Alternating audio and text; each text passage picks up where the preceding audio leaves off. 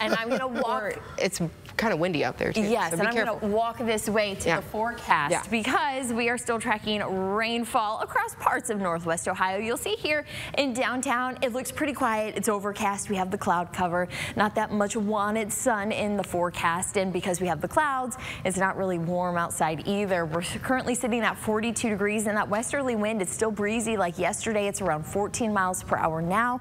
It's going to be gusting around 25 miles per hour for today. So it's just going to add that extra little zip to the cooler air that we have. As far as the rain, it's at least scattered for us. You can see it's a little bit of green here, a little bit of green there. You'll see a little bit just trying to roll in there to the northern portion of Lucas County right there along the state line. And also we have a little bit just trying to head into Seneca County as well.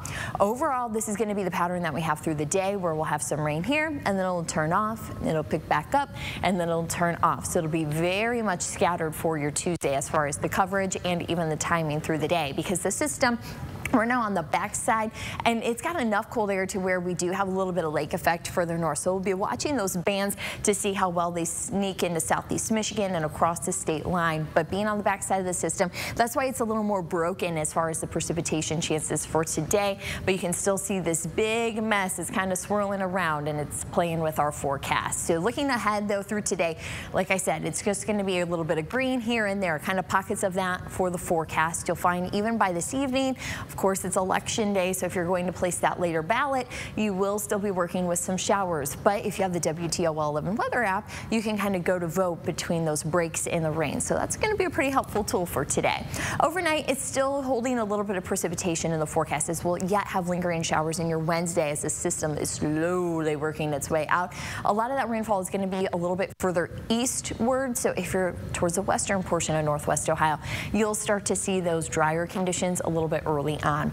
As we go through our high temperatures, though, I've been watching these cool today and tomorrow, but once we dry out, we have 60s that take place. So it looks like May finally going to show up here in the forecast and even 70s for next week. I'm liking 79 because that's going to help a lot of us out. But like I said, election day, you are going to find it's a little bit cooler. We'll have those scattered showers. Highs, those are going to be into the mid 40s for today. And you will find on that forecast those climbing temps and at least the rain ending on Wednesday. Dry weather as we go through the weekend, great news there. And even as we look at that full 10 day, you will find that we're pretty quiet in the forecast as those 70s take place.